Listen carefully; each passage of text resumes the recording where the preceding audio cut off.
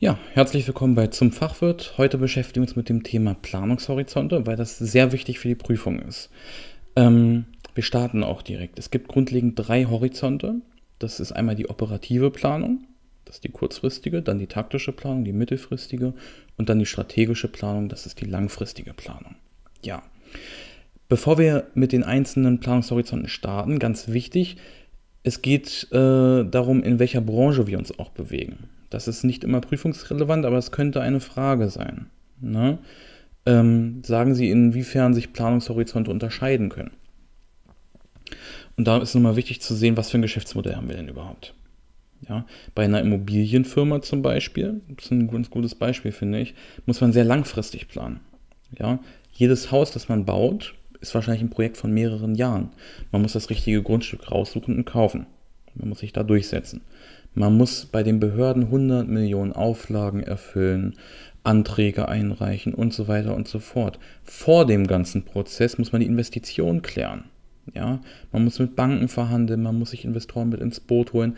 Da muss das ganze Ding auch noch gebaut und vermietet werden. Das heißt, wir sind hier bei ganz langen Zeiträumen. Gegenbeispiel wäre eine Internetfirma, die zum Beispiel Eventmarketing macht. Ja, die wissen wahrscheinlich gerade mal, was sie dieses Jahr machen. So, ne, da geht es darum, das ist ganz schnelllebig. Immobilien, das ist eine extrem langfristige Geschichte. Anderes Beispiel wären so was wie Lebensversicherung, auch sehr langfristig. Ja? Da sind die Planungshorizonte natürlich ganz andere. Also insofern kann sich das unterscheiden. Aber jetzt schauen wir uns mal die verschiedenen Planungshorizonte einfach mal an. Operative Planung unter einem Jahr. Genau, das muss man dazu sagen. Wenn in der Prüfung gefragt ist, wie man die unterscheidet, unterscheiden Sie operative und strategische Planung zum Beispiel oder nennen Sie drei Planungshorizonte, dann sind die Kriterien eigentlich immer, dass man den Zeitraum nennt, dass man sagt, äh, wer sich darum kümmert ähm, und was die Aufgabe ist. Und dann vielleicht auch noch ein Beispiel. Und genau das machen wir jetzt. Also operative Planung ist eher kurzfristig, also unter einem Jahr. Ähm, es geht um kurz- bis mittelfristige Planung äh, laufender Projekte. Und das niedrige bzw. mittlere oder auch das Low- und Middle-Management kann man es nennen, äh, ist damit beauftragt. Ja, natürlich, das, was jetzt gerade aktuell anliegt, wenn sich da die Oberstmanager immer drum kümmern würden, das äh, würde nicht gut gehen, weil dann haben sie einfach zu viel zu tun und können sich nicht mehr auf die wesentlichen Grundsatzentscheidungen konzentrieren. Ein Beispiel wäre, es geht um die Steuerung aktueller Prozesse, klar. Zum Beispiel an welche Druckerei der Druckauftrag für die neuen Poster gehen soll. Na, das wäre eine ganz aktuelle Aufgabe.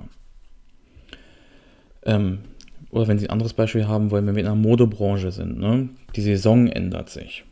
Das heißt, äh, wie machen wir jetzt die Werbung für diese neue Saison? Ja, ist kurzfristig.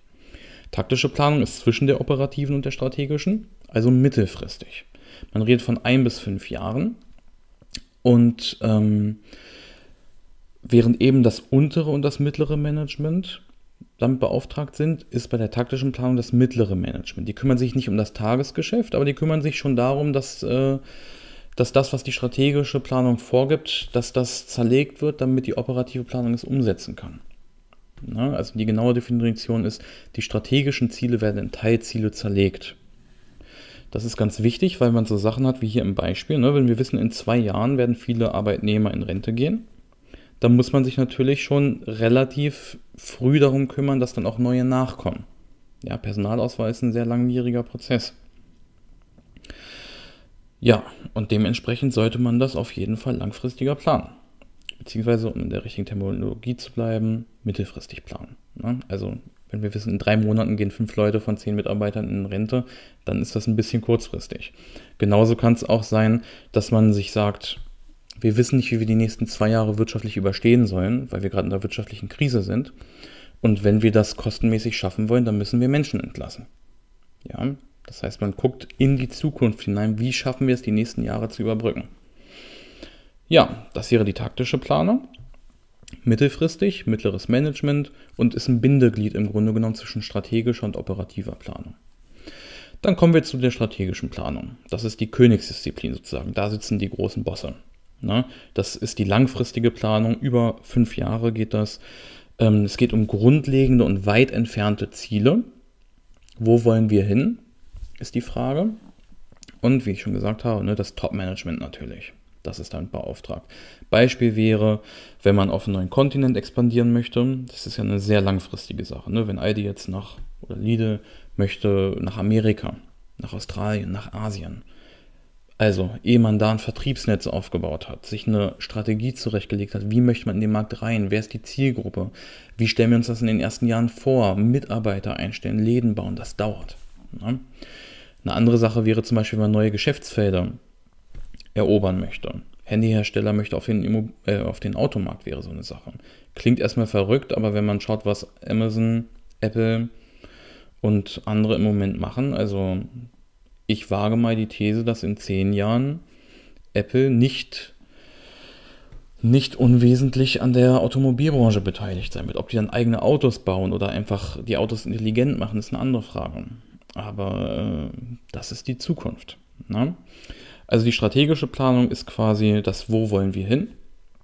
Die taktische Planung ist dann, das in Teilziele zu zerlegen und die operative Planung, die setzt um. Das ist im Grunde genommen das Ganze. In der Prüfung wird es meistens um die operative und die strategische Planung gehen, aber wir haben jetzt auch mal der Vollständigkeit halber alle gemacht. Und äh, ich denke, das ist logisch und das sollten Sie aus dem FF können, wenn Sie die Unternehmensführung Prüfung schreiben. Sollten irgendwelche Fragen sich ergeben haben oder offen geblieben sein, schreiben Sie mir einfach. Ich mache dann auch gerne ein Video dazu. In dem Sinne, vielen Dank.